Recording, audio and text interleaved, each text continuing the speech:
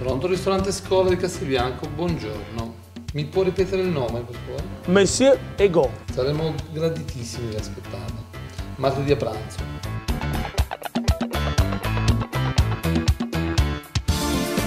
Ristorante scuola Monsieur Ego. Buongiorno, benvenuto a Castelbianco. Questa valle stupenda, un po' in anticipo, ma abbiamo un, un aperitivo?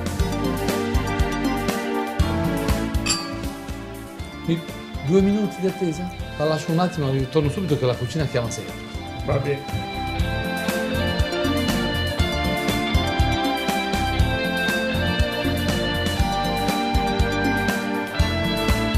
Signor Fausto, ma dove va con quel cesto?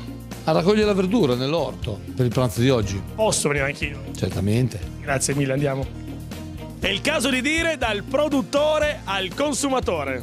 Monsieur Go, solo prodotti di stagione. Signor Fausto, ma in questo periodo dell'anno, Madre Natura che cosa ci offre?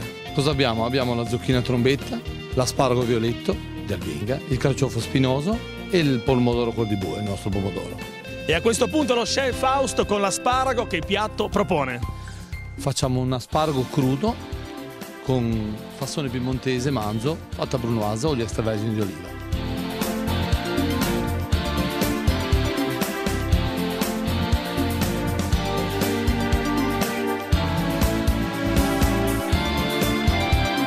E con il carciofo come la mettiamo? Guarda, così Semplice e naturale. A questo punto Fausto che cosa manca? un pezzo di focaccia e un bicchiere di vino magari. Andiamo in cantina. Andiamo. In abbinamento col menù di oggi ho pensato a questa barbera d'asti, fiulotte di prunotto, un gran prodotto. Mi dia un consiglio sincero. Devo organizzare un matrimonio per degli amici un po' esigenti. Abbiamo diverse location sulla riviera, nell'entroterra, castelli, più che posti indimenticabili per proprio questi eventi particolari. Signor Fausto, mi ritengo fortunato ad averla conosciuto. Lei ha pagato tutti i miei sensi, però sarà la primavera, mi sento un po' stanco, ci vorrebbe un riposino. Un buon oste, anche una buona camera. Per un buon riposino le lascio la 4. A lei.